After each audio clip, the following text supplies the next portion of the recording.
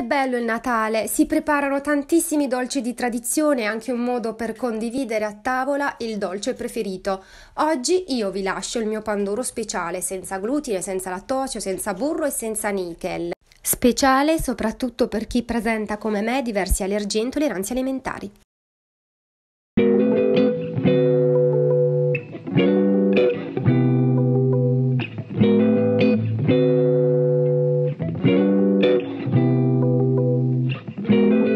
Thank you.